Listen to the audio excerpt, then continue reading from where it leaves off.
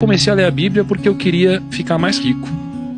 Ai, que foda. Olha só. Não, mas é demais, sabe? Cada um com seu motivo. Eu comecei a estudar É. por causa do basquete. Entendeu?